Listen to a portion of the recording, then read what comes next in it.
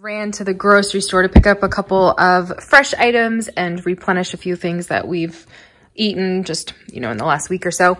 So we got more of this. This sparkling water is so good. And unfortunately, Drake loves it too. So I've been sharing a little bit with him. We've got some tomatoes. I made a soup last week and used up my diced tomatoes. So I replaced those. We're going to do chili dogs one night this week.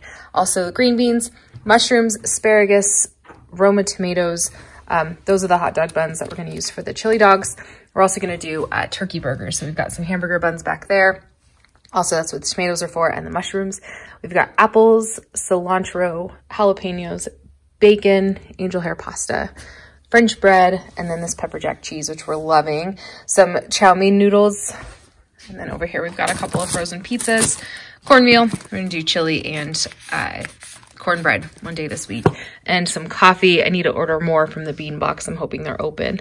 Anyways, that's it for um, this little tiny grocery haul.